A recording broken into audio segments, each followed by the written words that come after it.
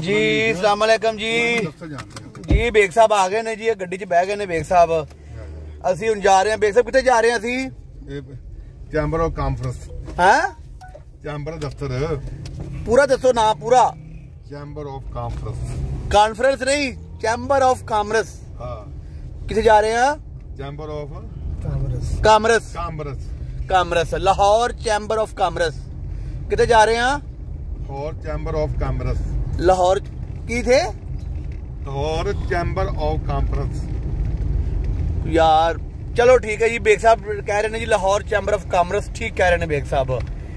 ਅਸੀਂ ਹੁਣ ਗੱਡੀ 'ਚ ਬਹਿ ਗਏ ਆ ਤੇ ਹੁਣ ਬਸ ਸਾਡੀ ਤਿਆਰੀ ਉਧਰ ਦੀ ਹੈ ਲਾਹੌਰ ਚੈਂਬਰ ਆਫ ਕਾਮਰਸ ਦੀ।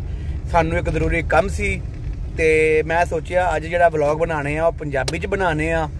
ਤੇ ਪੰਜਾਬੀ ਦੱਸ ਦੇਣਾ ਸਾਨੂੰ ਅੱਛੀ ਬੋਲ ਰਹੇ ਆ ਕਿ ਨਹੀਂ ਬੋਲ ਰਹੇ ਕਿਉਂਕਿ ਬੇਸਿਕਲੀ ਅਸੀਂ ਹੈ ਪੰਜਾਬ ਦੇ ਆ। ਤੇ ਪੰਜਾਬੀ ਬੋਲਣੀ ਚਾਹੀਦੀ ਏ। ਔਰ ਪੰਜਾਬੀ ਇੱਕ ਬੜੀ ਮਿੱਠੀ ਔਰ ਪਿਆਰੀ ਜ਼ੁਬਾਨ ਏ ਪੰਜਾਬੀ।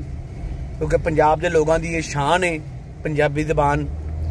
ਤੇ ਅਸੀਂ ਹੁਣ ਬੇਗ ਸਾਹਿਬ ਨੇ ਸ਼ੇਵ ਵਗੈਰਾ ਕਰਵਾ ਲਈਏ ਤੇ ਅਸੀਂ ਹੁਣ ਜਾ ਰਹੇ ਹਾਂ ਬੇਗ ਸਾਹਿਬ ਦੇ ਆਫਿਸ। ਤੇ ਆਫਿਸ ਤੋਂ ਬਾਅਦ ਅਸੀਂ ਲਾਹੌਰ ਚੈਂਬਰ ਆਫ ਕਾਮਰਸ ਜਿਹੜਾ ਉਹ ਅਸੀਂ ਜਾਵਾਂਗੇ। ਉਹ ਤੁਹਾਨੂੰ ਉੱਥੇ ਜਾ ਕੇ ਦੱਸਾਂਗੇ ਕਿ ਸਾਨੂੰ ਕੀ ਕੰਮ ਸੀ ਉੱਥੇ ਲਾਹੌਰ ਚੈਂਬਰ ਆਫ ਕਾਮਰਸ। ਲਓ ਜੀ, ਬੇਗ ਸਾਹਿਬ ਦੇ ਦਫ਼ਤਰ ਅਸੀਂ ਪਹੁੰਚ ਗਏ ਆ ਬੇਗ ਸਾਹਿਬ ਕਹਿ ਰਹੇ ਨੇ ਜੀ, ਸਾਨੂੰ ਮੈਨੂੰ ਕੋਈ 5 ਮਿੰਟ ਲੱਗਣਗੇ। ਇਹ ਸਾਹਮਣੇ ਦਫ਼ਤਰ ਜੀ, ਬੇਗ ਬ੍ਰਦਰ ਐਂਡ ਕੰਪਨੀ। ਤੇ ਬੇਗ ਸਾਹਿਬ ਕਹਿੰਦੇ ਨੇ ਜੀ 5 ਮਿੰਟ ਲੱਗਣਗੇ ਸਾਨੂੰ ਤੇ ਮੈਂ ਹੁਣ ਗੱਡੀ ਦੇ ਵਿੱਚ ਉਹਨਾਂ ਦਾ ਵੇਟ ਕਰਾਂਗਾ। ਉਹ ਬੇਗ ਸਾਹਿਬ ਜਾ ਰਹੇ ਨੇ ਜੀ ਸਾਹਮਣੇ।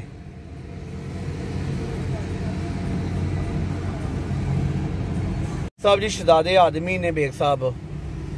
ਮੈਂ ਤਾਂ ਉਹਨਾਂ ਨੂੰ ਕਿਹਾ ਸੀ ਕਿ ਲਾਹੌਰ ਚੈਂਬਰ ਆਫ ਕਾਮਰਸ ਤੋਂ ਇਕੱਲੇ ਹੀ ਹੋ ਆਵੋ ਤੇ ਉਹਨਾਂ ਨੇ ਕਿਹਾ, ਨਹੀਂ, ਤੁਹਾਨੂੰ ਤੈਨੂੰ ਨਾਲ ਲੈ ਕੇ ਜਾਣਾ ਹੈ। ਮੈਂ ਕਿਹਾ, ਚਲੋ ਠੀਕ ਹੈ ਬੇਗ ਸਾਹਿਬ, ਮੈਂ ਤੁਹਾਡੇ ਨਾਲ ਜਾਣ ਨੂੰ ਤਿਆਰ ਹਾਂ ਜਨਾਬ। ਤੇ ਅੰਦਰ ਗਏ ਨੇ, ਜਰਾ ਕੰਮ ਉਹਨਾਂ ਨੂੰ ਥੋੜਾ ਜਿਹਾ। ਉਸ ਤੋਂ ਬਾਅਦ ਫਿਰ ਅਸੀਂ ਲਾਹੌਰ ਚੈਂਬਰ ਆਫ ਕਾਮਰਸ ਚ ਜਾਵਾਂਗੇ ਤੇ ਉੱਥੇ ਜਿਹੜਾ ਆਪਣਾ ਕੰਮ ਵਗੈਰਾ ਹੈ, ਜਿਹੜਾ ਉਹ ਕਰਾਂਗੇ। ਉਹ ਤੁਹਾਨੂੰ ਦੱਸਾਂਗੇ ਉੱਥੇ ਜਾ ਕੇ ਕਿ ਅਸੀਂ ਕੀ ਕਰਨਾ ਹੈ ਸਰਪ੍ਰਾਈਜ਼ ਦੇ ਵੀ। ਵੀਡੀਓ ਪੂਰੀ ਵੇਖਣਾ। ਚਾਰਜ ਵੀ ਹੋਣੀ। ਅੱਛਾ ਮੇਰੀ ਹੁਣ ਗੱਲ ਸੁਣੋ ਨਾ ਮੈਂ ਕਹਿਣ ਡਿਆ ਕਿ ਕੋਈ ਜਾਵੇ ਤੇ ਬੈਂਟੀ ਚਾਰਜ ਕਰਾ ਸਾਰੇ ਕਿਹੜੀ ਸੋ ਬੋਲੀ ਚਲੋ ਜੀ।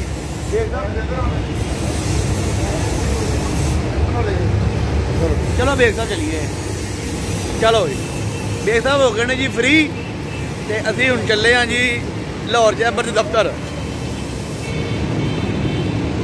ਕਿਸੇ ਨੇ ਗੁਟਕਾ ਲੈਣਾ ਹੋਵੇ ਇੱਟ ਲੈਣੀ ਹੋਵੇ ਬੇਗ ਬ੍ਰਦਰ ਐਂਡ ਕੰਪਨੀ ਨਾਲ ਰਾਬਤਾ ਕਰੇ। टिकटॉक बनावा वीडियो वीडियो ज़्यादा लाइक कर जी जी बिल्कुल बिल्कुल बिल्कुल अपना भाईजान ये हनीफ भाई है हमारे बड़े अच्छे भाई हैं पीछे बेग साहब बैठे हुए हैं बेग साहब कुछ डॉक्यूमेंट चेक कर रहे हैं देख रहे हैं तो अभी टाइम लगेगा हमें लाहौर चैम्बर काफल पहुँचते पहुँचते तकरीबन कोई बीस पच्चीस मिनट का टाइम जो है ना हमें दरकार है क्योंकि रश भी बहुत ज़्यादा है तो हनीफ भाई बड़ी अच्छी गाड़ी चला रहे हैं ये हनीफ भाई अनीब भाई आप कोई बताएँगे इस हवाले से कि जी आप ड्राइविंग करते हैं तो किस किन किन किन चीज़ों का ख्याल रखना चाहिए? किस लिहाज से? ड्राइविंग करते हुए किन चीज़ों का जो ना अख्तियार करना चाहिए इनकी ड्राइविंग करते हुए खास तौर पे? ड्राइविंग करते हुए खास तौर पे मेन पे नज़र रखनी चाहिए और ब्रेक का ख्याल रखना चाहिए। और इंडिकेटर लगा हो इशारे बंद हो। विदाउट इंडिकेटर आपको टर्न नहीं करना चाहिए। हाँ और बेल्ट के बगैर गाड़ी नहीं चलानी चाहिए। सीट बेल्ट तो फ़र्स्ट है ना। फ़र्स्ट हाँ। सेफ्टी आपकी सीट बेल्ट है। ठीक हो गया। ये भाईजान ये बड़े एक्सपीरियंस याफ्ता बंदे हैं हनीफ भाई। मेरा कमोबेश मैं बचपन में था छोटा था तो ये भी यंग ही हैं अभी भी यंग है माशाल्लाह। तो इनका मेरा ख्याल है कोई 25 या 30 इयर्स का एक्सपीरियंस होगा मेरे जहाँ तक मेरा ख्याल है। जी नहीं नहीं भाई मैंने एग्जैक्ट कहा है। एग्जैक्ट का 25 ईयर का एक्सपीरियंस ऑन ड्राइविंग हाँ जी ये देखा ही ट्वेंटी फाइव ईयर्स का एक्सपीरियंस वो बता रहे हैं भाई। तो बेग साहब का तो पता ही है आपको। बेग साहब आपका कितनी देर का एक्सपीरियंस है? मुझे 20 साल का। बीस साल का। तो गाड़ी चलाते हुए आप क्या किन किन चीज़ों का ख्याल रखते हैं? ब्रेक और रेस का बस। और साइडों पे लड़की लड़कियों का भी रखते हैं कि नहीं? नहीं फिर गाड़ी नहीं चलती। बिल्कुल सही कहा बेग साहब ने फिर गाड़ी नहीं चलती। ठीक हो गया। गाड़ी में डलवाने लगे हैं पेट्रोल अभी हम पहुंच गए हैं जी पीएसओ का स्टेशन है ये जो जे रोड पे है पेट्रोल पंप जो है उधर पहुंच गए हैं जी ਹੈਲੋ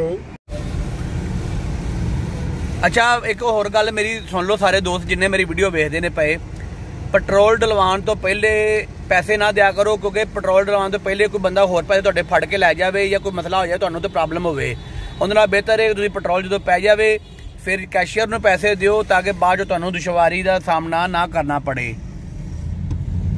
ਮੇਰੇ ਕੋ ਆਮ ਵੀਡੀਓ YouTube ਚੈਨਲ ਦੀ। ਇਹ ਖਾਨ ਸਾਹਿਬ ਦੇ ਕਾਰਨਾਮੇ ਚੈੱਕ ਕਰ ਲਓ ਜੀ ਤੁਹਾਨੂੰ ਦਿਖਾ ਰਿਹਾ ਵਾਂ ਮੈਂ।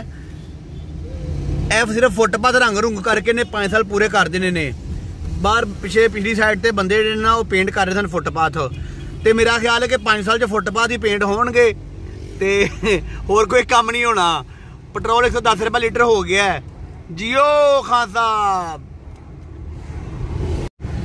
ਲੋ ਜੀ, ਇਹ ਸ਼ਾਦਮਾਨ ਦਾ ਜਿਹੜਾ ਪੁਲ ਹੈ ਉਹ ਅਸੀਂ ਥੱਲੇੋਂ ਗੁਜ਼ਰਨ ਲੱਗੇ ਹੁਣ। ਉਹ ਉੱਤੇ ਦੇਖੋ ਲਿਖਿਆ ਇਹ ਚਾਈਨਾ ਚੌਕ। ਚਾਈਨਾ ਚੌਕ ਵੀ ਤੁਹਾਨੂੰ ਅੱਜ ਦਿਖਾਵਾਂਗੇ ਕਿ ਚਾਈਨਾ ਚੌਕ ਕਿਵੇਂ ਦਾ, ਜਿਹਨੂੰ ਇਹ ਨਾਂ, ਜਿਹਦਾ ਨਾਮ ਚਾਈਨਾ ਚੌਕ ਹੈ ਉਹ ਕੈਸਾ ਹੋਏਗਾ? ਵਾਹ ਜੀ ਵਾਹ ਕੀ ਬਾਤ ਹੈ ਲੋ ਜੀ ਹਨੇਰੇ ਆ ਗਏ ਜੀ।